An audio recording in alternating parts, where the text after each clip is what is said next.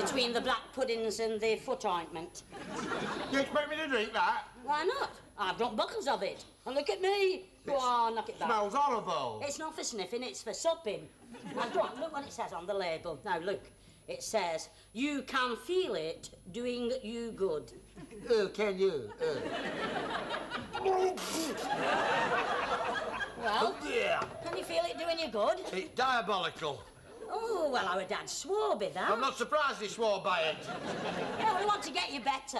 Well, Well, I can see what if I can find out what's wrong with you in there. in what are you here. doing now? I'm going to diagnose your case. What the hell do you know about diagnosing people? Three years at the Royal Infirmary, weren't I? I should know something in three years, shouldn't I? Not as a bloody ward cleaner. It's all in here. Arkwright's family doctor. Now, I just want to get to know your symptoms, and this book will tell me what to do. It's not as easy as all that. Uh, Oh, yes, it is. Oh, yes, they all use this method. Now, it stands to sense. They can't walk about with all those diseases in their head, can they? can't they? No. Why do you think these posh doctors call themselves consultants? Because they consult. And when they consult, what do they consult? They consult a book. I've heard everything now. Oh, I can just see the royal physician in the royal bedchamber. A slight cold, your majesty. Hang on. I'll just go and have a quick shufty at Arkwright's household doctor. Very funny. Now, this is serious. Carry on, matron. Well, now then, where did you feel the pain? In my belly.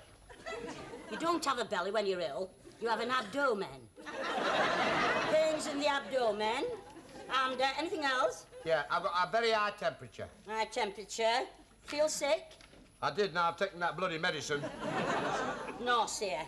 Um, well, any dizziness? Oh, I'm definitely dizzy. Oh, yes. Well, that's nausea, dizziness, and sickness. That should be the pace there. Um, oh, our Eli. What is it? Is it serious? Very. According to Dr. Arkwright, you're pregnant. Hey, Do it to him, bring this up.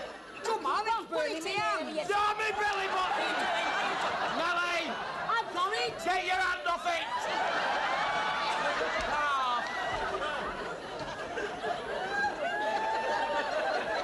Have you had it far? Now then, settle down. Settle down now. No, what now? I'll get you some food. Have a nice... Settle down and have a nice bit of chicken, eh? Oh, lovely, yeah. Yes, I'll, I'll, I'll go and get your milk stout. It'll uh, build up your strength. Thank you very much, Anne Nellie. Don't thank me, love. All I want to do is to see you get well. Thank you very much.